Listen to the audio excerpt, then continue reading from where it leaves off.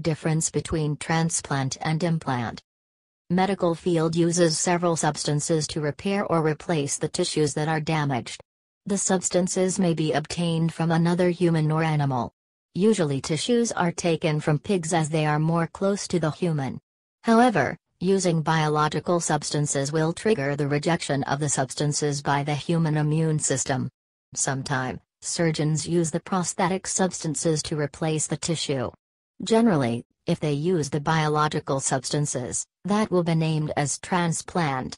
When synthetic substances are used to replace tissues, it will be categorized as implants. Sometimes, implants are inserted into the body to release substances periodically or continuously. Implant of hormone progesterone is a good example. This implant will act as a contraceptive device to the mother.